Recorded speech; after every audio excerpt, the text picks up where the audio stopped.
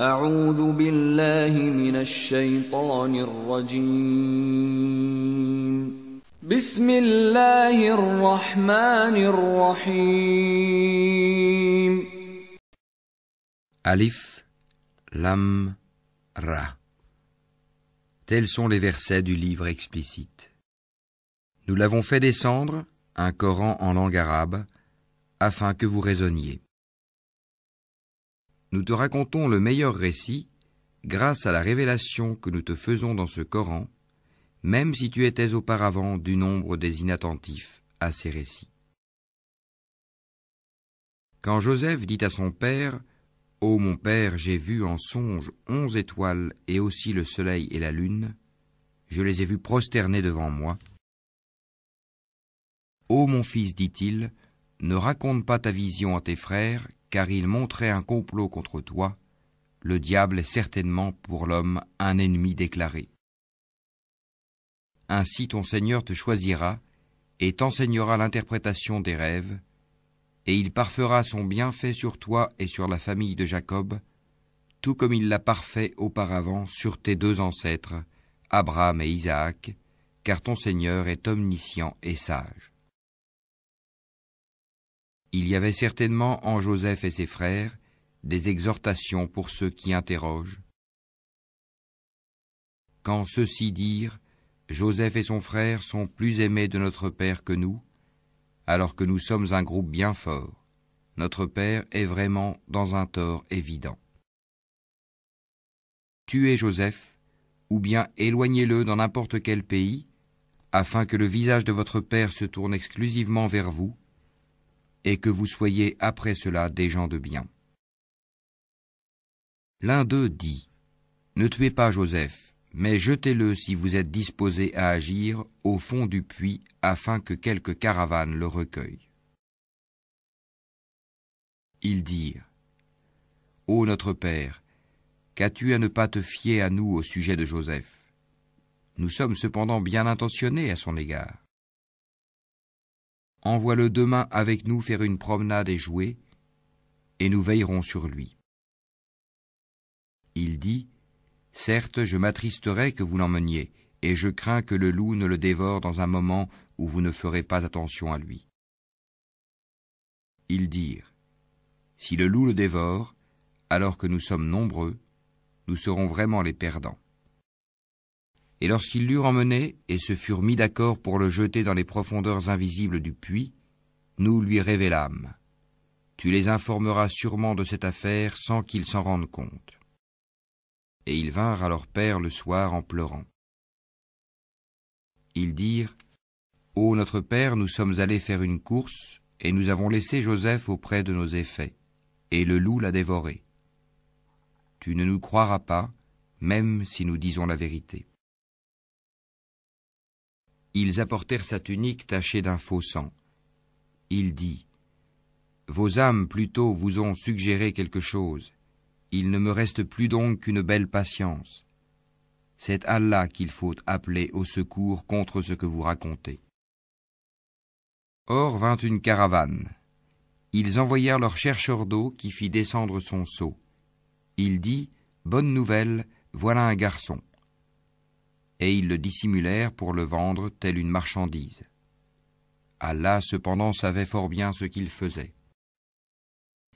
Et ils le vendirent à vil prix, pour quelques dirhams comptés.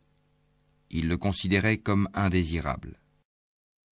Et celui qui l'acheta était de l'Égypte. Il dit à sa femme Accorde-lui une généreuse hospitalité. Il se peut qu'il nous soit utile ou que nous l'adoptions comme notre enfant. Ainsi, avons-nous raffermi Joseph dans le pays, et nous lui avons appris l'interprétation des rêves, et Allah est souverain en son commandement, mais la plupart des gens ne savent pas. Et quand il eut atteint sa maturité, nous lui accordâmes sagesse et savoir, c'est ainsi que nous récompensons les bienfaisants. Or celle, Zulika, qui l'avait reçu dans sa maison, essaya de le séduire. Et elle ferma bien les portes et dit, Viens, je suis prête pour toi.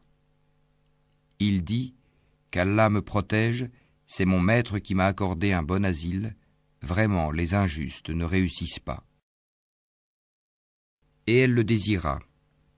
Et il l'aurait désiré n'eût été ce qu'il vit comme preuve évidente de son Seigneur. Ainsi nous avons agi pour écarter de lui le mal et la turpitude. Il était certes un de nos serviteurs élus. Et tous deux coururent vers la porte, et elle lui déchira sa tunique par derrière. Ils trouvèrent le mari de cette femme à la porte. Elle dit Quelle serait la punition de quiconque a voulu faire du mal à ta famille, sinon la prison ou un châtiment douloureux? Joseph dit C'est elle qui a voulu me séduire. Et un témoin de la famille de celle-ci témoigna. Si sa tunique à lui est déchirée par devant, alors c'est elle qui dit la vérité, tandis qu'il est du nombre des menteurs. Mais si sa tunique est déchirée par derrière, alors c'est elle qui mentit, tandis qu'il est du nombre des véridiques. Puis, quand il, le mari, vit la tunique déchirée par derrière, il dit C'est bien de votre ruse de femme. Vos ruses sont vraiment énormes. Joseph ne pense plus à cela. Et toi, femme, implore le pardon pour ton péché, car tu es fautive. Et dans la ville, des femmes dirent La femme d'Al-Aziz essaye de séduire son valet. Il l'a vraiment rendue folle d'amour. Nous la trouvons certes dans un égarement évident. Lorsqu'elle eut entendu leur fourberie, elle leur envoya des invitations et prépara pour elles une collation. Et elle remit à chacune d'elles un couteau. Puis elle dit Sors devant elle, Joseph. Lorsqu'elles le virent, elles l'admirèrent, se coupèrent les mains et dirent À Allah ne plaise, ce n'est pas un être humain, ce n'est qu'un ange noble. Elle dit Voilà donc celui à propos duquel vous me blâmiez J'ai essayé de le séduire, mais il s'en défendit fermement. Or s'il ne fait pas ce que je lui commande, il sera très certainement emprisonné et sera certes parmi les humiliés. Il dit Ô mon Seigneur, la prison m'est préférable à ce à quoi elle m'invite. Et si tu n'écartes pas de moi leurs ruses, je pencherai vers elles et serai du nombre des ignorants, des pécheurs. Son Seigneur l'exauça donc et éloigna de lui leurs ruses. C'est lui vraiment qui est l'audient et l'omniscient. Puis, après qu'ils eurent vu les preuves de son innocence, il leur sembla qu'ils devaient l'emprisonner pour un temps. Deux valets entrèrent avec lui en prison. L'un d'eux dit Je me voyais en rêve pressant du raisin. Et l'autre dit Et moi je me voyais portant sur ma tête du pain dont les oiseaux mangeaient. Apprends-nous l'interprétation de nos rêves, nous te voyons au nombre des bienfaisants. La nourriture qui vous est attribuée ne vous parviendra point, dit-il, que je ne vous ai avisé de son interprétation de votre nourriture avant qu'elle ne vous arrive. Cela fait partie de ce que mon Seigneur m'a enseigné. Certes, j'ai abandonné la religion d'un peuple qui ne croit pas en Allah et qui nie la vie future. Et j'ai suivi la religion de mes ancêtres, Abraham, Isaac et Jacob. Il ne nous convient pas d'associer à Allah quoi que ce soit. Ceci est une grâce d'Allah sur nous et sur tout le monde, mais la plupart des gens ne sont pas reconnaissants. Ô mes deux compagnons de prison, qui est le meilleur Des seigneurs éparpillés ou Allah l'unique, le dominateur suprême? Vous n'adorez en dehors de lui que des noms que vous avez inventés, vous et vos ancêtres, et à l'appui desquels Allah n'a fait descendre aucune preuve. Le pouvoir n'appartient qu'à Allah. Il vous a commandé de n'adorer que lui. Telle est la religion droite, mais la plupart des gens ne savent pas. Ô mes deux compagnons de prison, l'un de vous donnera du vin à boire à son maître. Quant à l'autre, il sera crucifié et les oiseaux mangeront de sa tête. L'affaire sur laquelle vous me consultez est déjà décidée et il dit à celui des deux dont il pensait qu'il serait délivré, Parle de moi auprès de ton maître. Mais le diable fit qu'il oublia de rappeler le cas de Joseph à son maître. Joseph resta donc en prison quelques années. Et le roi dit, En vérité, je voyais en rêve sept vaches grasses mangées par sept maigres, et sept épis verts, et autant d'autres secs. Ô conseil de notables, donnez-moi une explication de ma vision, si vous savez interpréter le rêve. Ils dirent, C'est un amas de rêves, et nous ne savons pas interpréter les rêves. Or, celui des deux qui avait été délivré, et qui après quelque temps se rappela, dit Je vous en donnerai l'interprétation, envoyez-moi donc. Ô toi, Joseph, le véridique, éclaire-nous au sujet de sept vaches grasses que mangent sept très maigres, et sept épis verts, et autant d'autres secs, afin que je retourne aux gens et qu'ils sachent l'interprétation exacte du rêve. Alors Joseph dit, Vous sèmerez pendant sept années consécutives. Tout ce que vous aurez moissonné, laissez-le en épis, sauf le peu que vous consommerez. Viendront ensuite sept années de disette qui consommeront tout ce que vous aurez amassé pour elles, sauf le peu que vous aurez réservé comme semence. Puis viendra après cela une année où les gens seront secourus par la pluie et iront au pressoir. Et le roi dit, Amenez-le-moi. Puis lorsque l'émissaire arriva auprès de lui, Joseph dit, Retourne auprès de ton maître et demande-lui quelle était la raison qui poussa les femmes à se couper les mains. Mon Seigneur connaît bien leurs ruses. Alors le roi leur dit, Qu'est-ce donc qui vous a poussé à essayer de séduire Joseph? Elles dirent, Allah ne plaise, nous ne connaissons rien de mauvais contre lui. Et la femme d'Al-Aziz dit, Maintenant la vérité s'est manifestée, c'est moi qui ai voulu le séduire, et c'est lui vraiment qui est du nombre des véridiques. Là afin qu'il sache que je ne l'ai pas trahi en son absence, et qu'en vérité Allah ne guide pas la ruse des traîtres.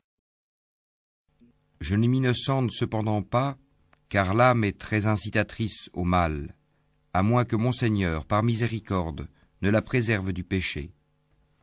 Mon Seigneur est certes pardonneur et très miséricordieux.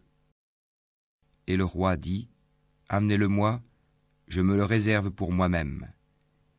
Et lorsqu'il lui eut parlé, il dit, Tu es dès aujourd'hui près de nous en une position d'autorité et de confiance. Et Joseph dit, Assigne-moi les dépôts du territoire, je suis bon gardien et connaisseur. Ainsi avons-nous affermi l'autorité de Joseph dans ce territoire, et il s'y installait là où il voulait. Nous touchons de notre miséricorde qui nous voulons, et ne faisons pas perdre aux hommes de bien le mérite de leurs œuvres. Et la récompense de l'au-delà est meilleure pour ceux qui ont cru et ont pratiqué la piété. Et les frères de Joseph vinrent et entrèrent auprès de lui. Il les reconnut, mais eux ne le reconnurent pas. Et quand il leur eut fourni leurs provisions, il dit Amenez-moi un frère que vous avez de votre père. Ne voyez-vous pas que je donne la pleine mesure et que je suis le meilleur des hôtes? Et si vous ne me l'amenez pas, alors il n'y aura plus de provisions pour vous chez moi, et vous ne m'approcherez plus. Ils dirent Nous essaierons de persuader son père, certes, nous le ferons. Et il dit à ses serviteurs Remettez leurs marchandises dans leurs sacs.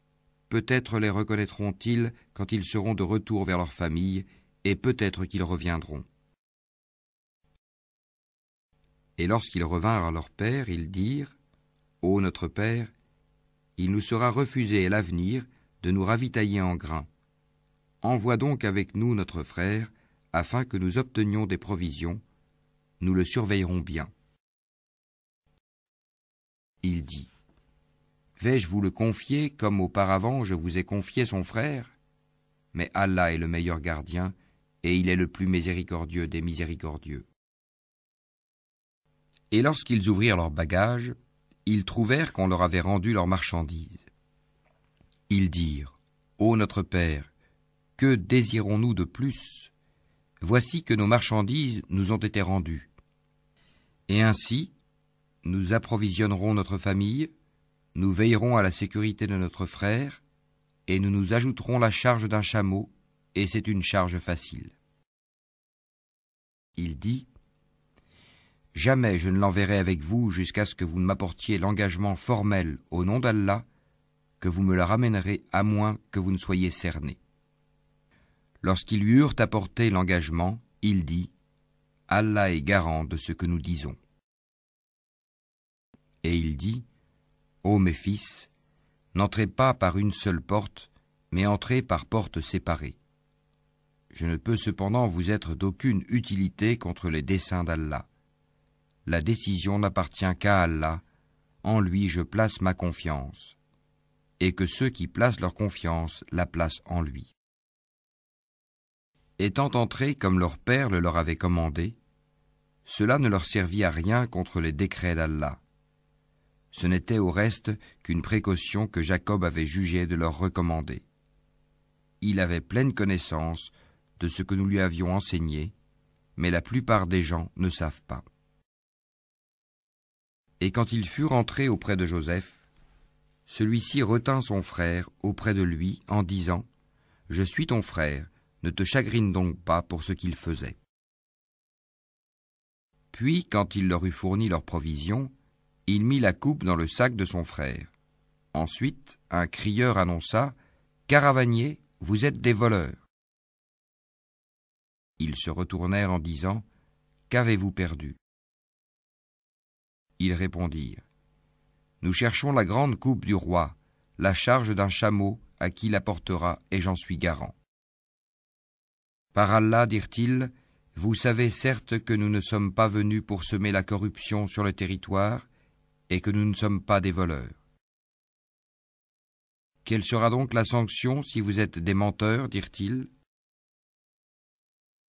Ils dirent La sanction infligée à celui dans les bagages de qui la coupe sera retrouvée est qu'il soit livré lui-même à titre d'esclave à la victime du vol. C'est ainsi que nous punissons les malfaiteurs. Joseph commença par les sacs des autres avant celui de son frère, puis il la fit sortir du sac de son frère. Ainsi, suggérâmes-nous cet artifice à Joseph car il ne pouvait pas se saisir de son frère selon la justice du roi, à moins qu'Allah ne l'eût voulu. Nous élevons en rang qui nous voulons, et au-dessus de tout homme détenant la science, il y a un savant plus docte que lui. Ils dirent, S'il a commis un vol, un frère à lui auparavant a volé aussi. Mais Joseph tint sa pensée secrète et ne la leur dévoila pas. Il dit en lui-même, Votre position est bien pire encore, et Allah connaît mieux ce que vous décrivez. Ils dirent, Ô Al-Aziz, il a un père très vieux, saisis-toi donc de l'un de nous à sa place. Nous voyons que tu es vraiment du nombre des gens bienfaisants. Il dit, Qu'Allah nous garde de prendre un autre que celui chez qui nous avons trouvé notre bien, nous serions alors vraiment injustes. Puis, lorsqu'ils eurent perdu tout espoir de ramener Benyamin, ils se concertèrent en secret. Leur aîné dit Ne savez-vous pas que votre père a pris de vous un engagement formel au nom d'Allah, et que déjà vous y avez manqué autrefois à propos de Joseph? Je ne quitterai point le territoire jusqu'à ce que mon père me le permette, ou qu'Allah juge en ma faveur, et il est le meilleur des juges. Retournez à votre père et dites Ô notre père, ton fils a volé, et nous n'attestons que ce que nous savons, et nous n'étions nullement au courant de l'inconnu. Et interroge la ville où nous étions, ainsi que la caravane dans laquelle nous sommes arrivés, nous disons réellement la vérité. Alors Jacob dit Vos âmes plutôt vous ont inspiré d'entreprendre quelque chose. Ô belle patience il se peut qu'Allah me les ramènera tous les deux, car c'est lui l'omniscient, le sage. Et il se détourna d'eux et dit, Que mon chagrin est grand pour Joseph. Et ses yeux blanchirent d'affliction, et il était accablé. Ils dirent, Par Allah, tu ne cesseras pas d'évoquer Joseph jusqu'à ce que tu t'épuises ou que tu sois parmi les morts. Il dit, Je ne me plains qu'à Allah de mon déchirement et de mon chagrin, et je sais de la part d'Allah ce que vous ne savez pas. Ô mes fils, partez et enquirez-vous de Joseph et de son frère, et ne désespérez pas de la miséricorde d'Allah, ce sont seulement les gens mécréants qui désespèrent de la miséricorde d'Allah. Et lorsqu'ils s'introduisirent auprès de Joseph, ils dirent Ô Al-Aziz, la famine nous a touchés, nous et notre famille, et nous venons avec une marchandise sans grande valeur. Donne-nous une pleine mesure et fais-nous la charité. Certes, Allah récompense les charitables. Il dit Savez-vous ce que vous avez fait de Joseph et de son frère alors que vous étiez ignorants, injustes? Ils dirent Est-ce que tu es? Certes, tu es Joseph. Il dit Je suis Joseph, et voici mon frère. Certes, Allah nous a favorisés. Quiconque craint est patiente, et très certainement, Allah ne fait pas perdre la récompense des bienfaisants. Ils dirent, Par Allah, vraiment Allah t'a préféré à nous, et nous avons été fautifs. Il dit, Pas de récrimination contre vous aujourd'hui, qu'Allah vous pardonne, c'est lui le plus miséricordieux des miséricordieux emportez ma tunique que voici, et appliquez-la sur le visage de mon père. Il recouvrera aussitôt la vue. Et amenez-moi toute votre famille. Et dès que la caravane franchit la frontière de Canaan, leur père dit Je décèle certes l'odeur de Joseph, même si vous dites que je radote. Ils lui dirent Par Allah, te voilà bien dans ton ancien égarement. Puis, quand arriva le porteur de bonne annonce, il l'appliqua, la tunique, sur le visage de Jacob. Celui-ci recouvra aussitôt la vue et dit Ne vous ai-je pas dit que je sais par Allah ce que vous ne savez pas?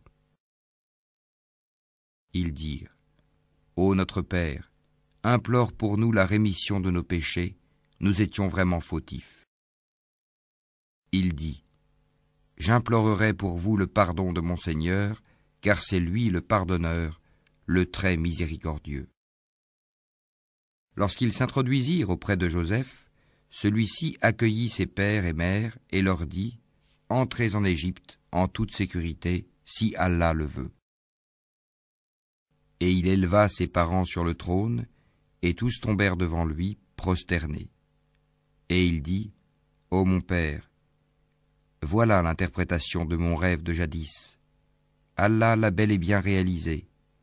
Et il m'a certainement fait du bien quand il m'a fait sortir de prison et qu'il vous a fait venir de la campagne, du désert, après que le diable ait suscité la discorde entre mes frères et moi. Mon Seigneur est plein de douceur pour ce qu'il veut, et c'est lui l'omniscient, le sage. Ô mon Seigneur, tu m'as donné du pouvoir et m'as enseigné l'interprétation des rêves. C'est toi le Créateur des cieux et de la terre. Tu es mon patron, ici-bas et dans l'au-delà. Fais-moi mourir en parfaite soumission, et fais-moi rejoindre les vertueux. Ce sont là des récits inconnus que nous te révélons, et tu n'étais pas auprès d'eux quand ils se mirent d'accord pour comploter. Et la plupart des gens ne sont pas croyants malgré ton désir ardent. Et tu ne leur demandes aucun salaire pour cela ce n'est là qu'un rappel adressé à l'univers. Et dans les cieux et sur la terre, que de signes auprès desquels les gens passent en s'en détournant. Et la plupart d'entre eux ne croient en Allah qu'en lui donnant des associés. Est-ce qu'ils sont sûrs que le châtiment d'Allah ne viendra pas les couvrir, ou que l'heure ne leur viendra pas soudainement sans qu'ils s'en rendent compte? Dis, Voici ma voix, j'appelle les gens à la religion d'Allah, moi et ceux qui me suivent, nous basant sur une preuve évidente. Gloire à Allah, et je ne suis point du nombre des associateurs. Nous n'avons envoyé avant toi que des hommes originaires des cités, à qui nous avons fait des révélations. Ces gens-là n'ont-ils pas parcouru la terre et considéré quelle fut la fin de ceux qui ont vécu avant eux? La demeure de l'au-delà est assurément meilleure pour ceux qui craignent Allah. Ne raisonnerez-vous donc pas? Quand les messagers faillirent perdre espoir et que leurs adeptes eurent pensé qu'ils étaient dupés, voilà que vint à eux notre secours, et furent sauvés ceux que nous voulûmes mais notre rigueur ne saurait être détournée des gens criminels. Dans leur récit, il y a certes une leçon pour les gens doués d'intelligence. Ce n'est point là un récit fabriqué, c'est au contraire la confirmation de ce qui existait déjà avant lui, un exposé détaillé de toutes choses, un guide et une miséricorde pour des gens qui croient.